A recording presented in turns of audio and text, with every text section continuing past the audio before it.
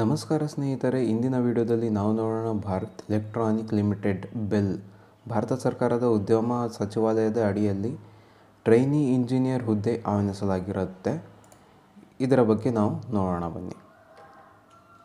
ಸ್ನೇಹಿತರೆ, ಇದರ ವಿದ್ಯಾರ್ಹತೆ ಬಂದುಬಿಟ್ಟು ಬಿ ಅಥವಾ ಬಿ ಟೆಕ್ ಐವತ್ತೈದು ಪರ್ಸೆಂಟ್ ತೊಗೊಂಡಿರಬೇಕಾಗತ್ತೆ. ಅದೇ ರೀತಿ ವಯೋಮಿತಿ ನೋಡೋದಾದರೆ ಕನಿಷ್ಠ ಹದಿನೆಂಟು ಪ, ವರ್ಷದಿಂದ ಗರಿಷ್ಠ ಇಪ್ಪತ್ತೆಂಟು ವರ್ಷ ವಯಸ್ಸು ಆಗಿರಬೇಕಾಗತ್ತೆ.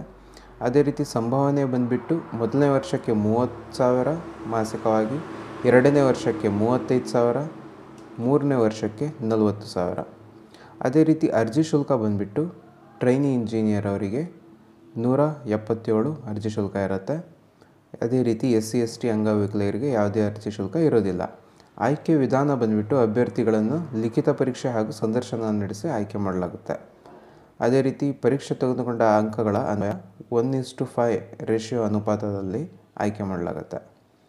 ಅದೇ ರೀತಿ ಅರ್ಜಿ ಸಲ್ಲಿಸಲು ಕೊನೆ ದಿನಾಂಕ ಹದಿನೆಂಟು ಐದು ಎರಡು ಸಾವಿರದ ಇಪ್ಪತ್ತ್ಮೂರಾಗಿದ್ದು ಅರ್ಜಿದಾರರು ಈ ಅಡ್ರೆಸ್ಸಿನ ಮೂಲಕ ವೆಬ್ಸೈಟ್ ಅಡ್ರೆಸ್ಸಿನ ಮೂಲಕ ಅರ್ಜಿಯನ್ನು ಸಲ್ಲಿಸ್ಬೋದಾಗುತ್ತೆ ಅರ್ಜಿ ಸಲ್ಲಿಸಾದ ಮೇಲೆ ಫೈನಲ್ ಅಪ್ಲಿಕೇಶನನ್ನು ಈ ಕೆಳಕಂಡ ಅಡ್ರೆಸ್ ಇದೆಯಲ್ಲ ಈ ಅಡ್ರೆಸ್ಸಿಗೆ ಪೋಸ್ಟ್ ಮಾಡಬೇಕಾಗತ್ತೆ.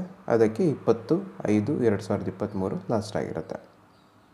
ವಿಡಿಯೋ ಇಷ್ಟ ಆದರೆ ಲೈಕ್ ಮಾಡಿ ಶೇರ್ ಮಾಡಿ ಸಬ್ಸ್ಕ್ರೈಬ್ ಮಾಡಿ. ಜೈ ಹಿಂದ್.